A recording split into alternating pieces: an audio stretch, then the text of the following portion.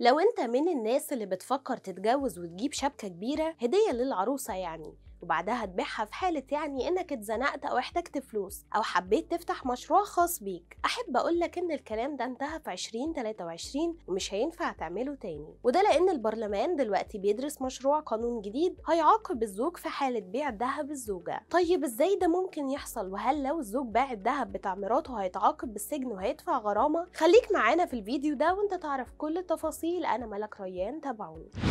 في مصر عادة إنك تشتري ذهب لعروستك.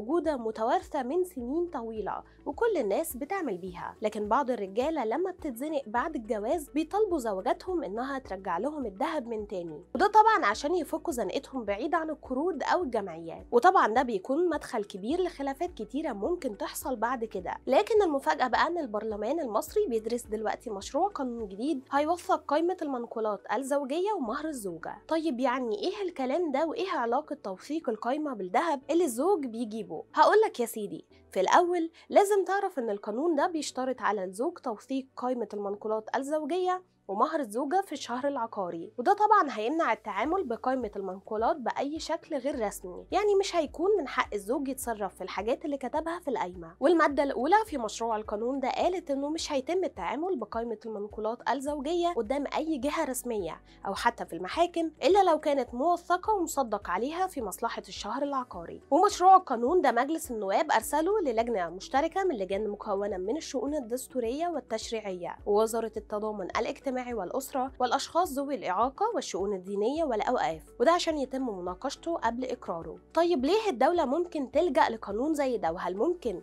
ده يزود المشاكل بين الأزواج؟ الحقيقة أن مشروع القانون الجديد بيستهدف حماية حقوق الزوج والزوجة خاصة في البنود الخاصة بالقايمة. وطبعا القانون بينظم رجوع القايمة في حالة الطلاق والخلع وده عشان يقلل من المشاكل اللي ممكن تحصل بين الأزواج في حالة الانفصال. طيب وكده الزوج مش هيقدر يتصرف في ذهب مراته؟ لو القانون الجديد اتطبق هتكون المشغولات الذهبية ضمن البنود اللي بتكون مكتوبة في القايمة. وطبعا هتكون في حيازة الزوجة وده لأن المشغولات دي بيستخدمها في العادي الست مش الراجل. وخلي بالك القانون وضح إنه لو الراجل أخذ المشغولات الذهبية يعني الشبكة لأي سبب القانون هيعتبرها جريمة سرقة وهيتعاقب عليها بالحبس لمدة 3 سنين. مش بس كده ده القانون كان محدد جدا وفي المادة الثالثة اكد إنه لازم يتكتب في القايمة كل الحاجات اللي اشتراها الزوج أو اشترتها الزوجة من مالها الخاص وده طبعا عشان يحافظ على حقوقهم. أما بقى لو الزوج فكر يكسر أو يتلف أي حاجة من المنقولات الزوجية فمواد المشروع ما سابتش النقطة دي وقالت في المادة التاسعة